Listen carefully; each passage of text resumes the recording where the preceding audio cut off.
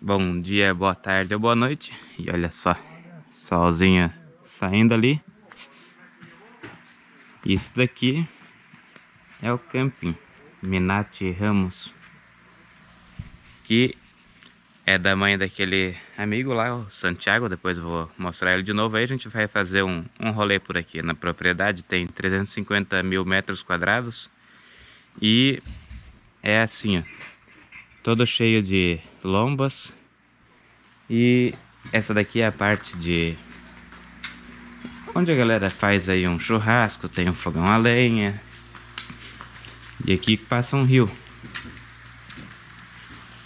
Que nessa época não é nada interessante entrar, porque tá frio que só o Matias para tomar banho aqui mesmo.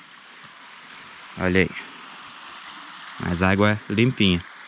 A água desse rio aqui, tranquilo para tomar banho, porque de cima aqui não vem não vem de cidade, então é bem bom. E aqui é onde a galera monta as barracas.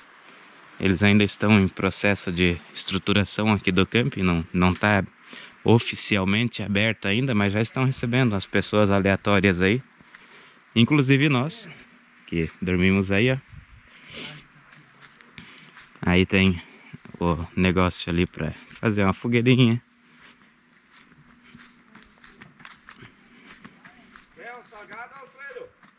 Vou querer um salgado. Hã? Vou querer. Ele quer. E vamos lá pro café da manhã então, né? Olha aí o salgado que o Reinaldo chamou pra comer. Hum. É isso aqui, ó. É uma dica dele aí que tá, tem lá em, em Barra Velha. Compra um pacotão lá com quantos que vem, mais ou menos? Ah, deve vir uns 20 aí dentro. Que são aqueles que ficam lá na, pra vender e não vende de um dia pro outro. Daí eles Amanhecido. congelam e vendem baratinho. 12 reais um pacote. Menos de um real cada um. Né? Do- 12 um pacote com 20, então me- 50 centavos. E aí compra, foi comprado um pacote desse pra gente vir comendo. Esses lugares são bonitos. Não sei se é porque eu me criei na roça e curto esses lugares assim, mas hoje a gente vê que tá cada vez na moda aí a galera fazer de uma fazenda várias pequenas chácaras e fazer loteamento assim. Porque muita gente ou tá querendo voltar para suas raízes, ou porque gosta mesmo do sossego da, do campo depois de ter vivido muitos anos na cidade. E quando me pergunta assim, tá, e o que, que tu vai fazer depois da, que terminar a viagem, como é que vai ser? Bom, eu tenho minha casa lá em Guaramirim, a ideia é trocar num, num sítio e quem sabe montar um camping lá, também para receber pessoas que, como vai ter, digamos, bastante seguidores aí.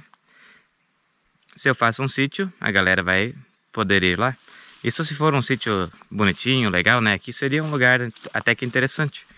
Mas isso é coisa lá pro futuro. Primeiro vamos terminar de viajar, aí depois vou voltar, talvez eu trabalhe em alguma coisa, e daí depois vamos pensar na aposentadoria, que com certeza vai ser num, num lugar parecido com esse, provavelmente ainda a escolher num futuro distante.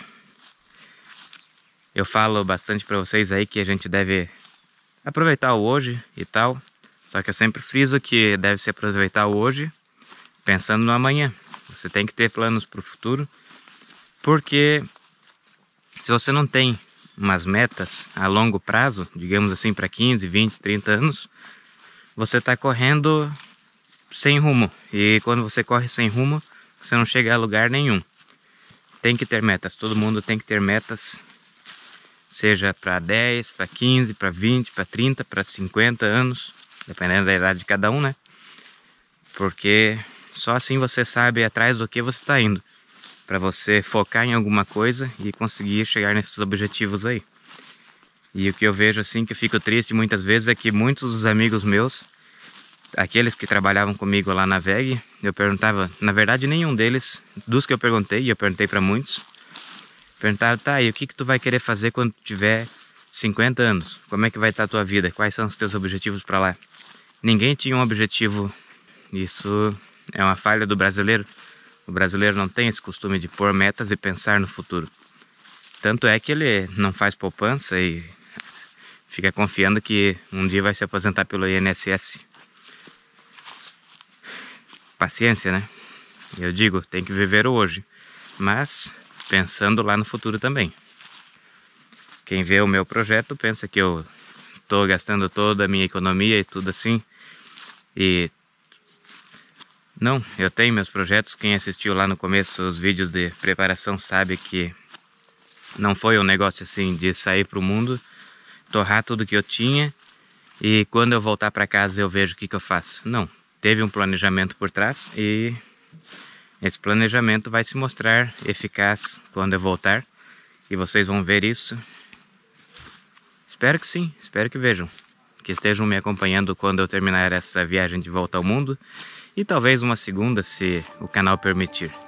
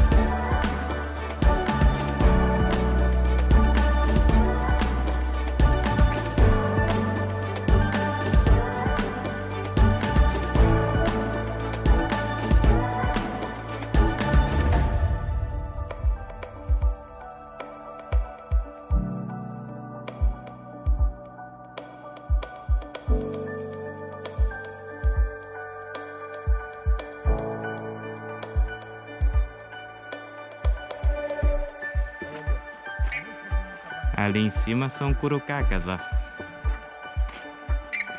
Não sei se vai dar pra ver. Quando elas voarem, vocês vão conseguir ver.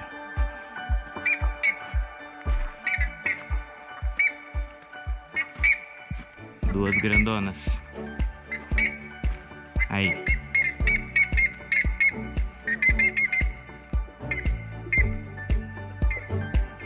Aqui também daria pra fazer, acho que um uma, uma captação boa, né? Porque aqui não tem, não tem.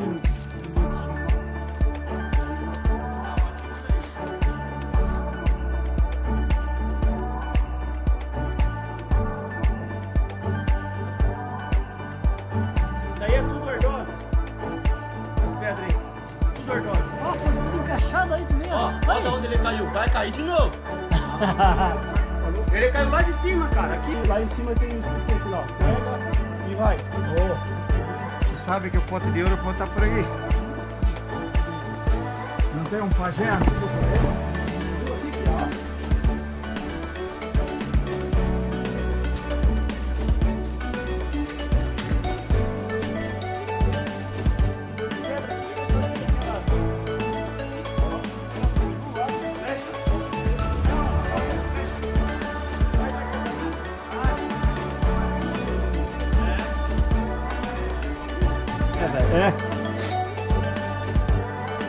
Bota elefante bicho.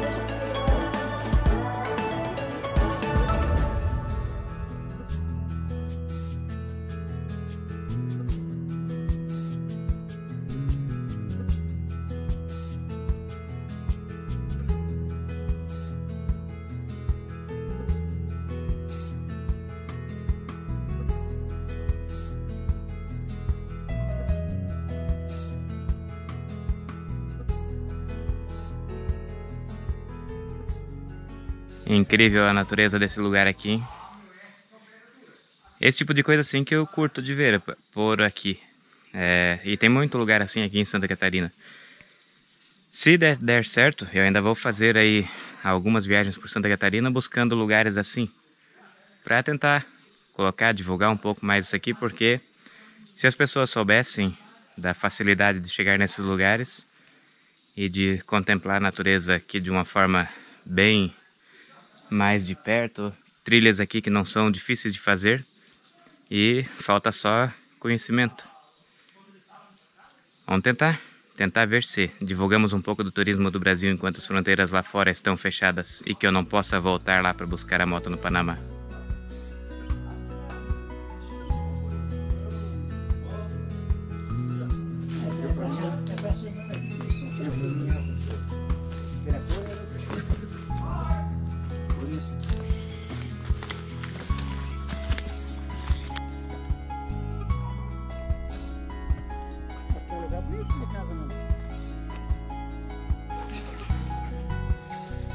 Vai, Thor. Vai, vai, vai. Vai. Vai, Thor. Vai. Vai, vai, vai, vai, guri, vai, guri. Foi, lá foi.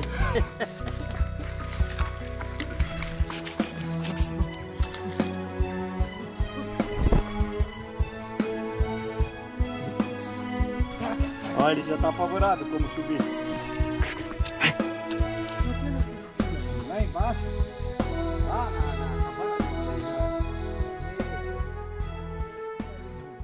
O Reinaldo catando os pinhão. Lá vem o Santiago já com a camisa cheia, eu tenho aqui com os bolsos Cheio. cheios. E a fruta vem daí, ó. É a semente da araucária. Pra quem não conhece, né? Quem tá no sul já tá ligado, mas talvez a galera do nordeste e do norte aí não vão saber o que, que é um pinhão. Se não mostrar de onde vem. É, aqui caiu. Bonito mesmo. E isso aqui caiu agorinha. O Reinaldo tava aí pegando um que caiu e Veio horas. de- caiu mais o resto da, da pinha lá de cima.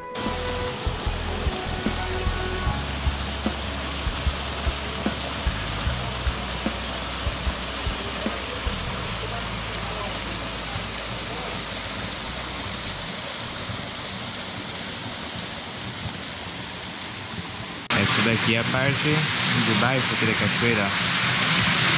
Quando tá em época que tem bastante água, a cachoeira pega toda essa parte aqui, ó. E daí dá pra ficar. Aqui onde Santiago tá é a parte de baixo da cachoeira. Essa daqui é a Cachoeira da Santa. E aqui tá o motivo pelo qual é a Cachoeira da Santa. Tá aí a Nossa Senhora Aparecida. E eles vêm aqui também no 12 de outubro fazer uma procissão. E por isso Cachoeira da Santa. Provavelmente lá nas antigas alguém colocou a Santa ali antes de dar um nome para cachoeira e depois ficou conhecida como Cachoeira da Santa. E agora estamos descendo lá para o lugar do templo. Bonito lugar aqui. Já juntamos aí uns pau, fazer uma fogueira aí. Aproveitar com a lua aí, eu não sei se dá pra ver. Ali, ó. Não tem luz aqui, mas a lua vai fazer a vez dela aí.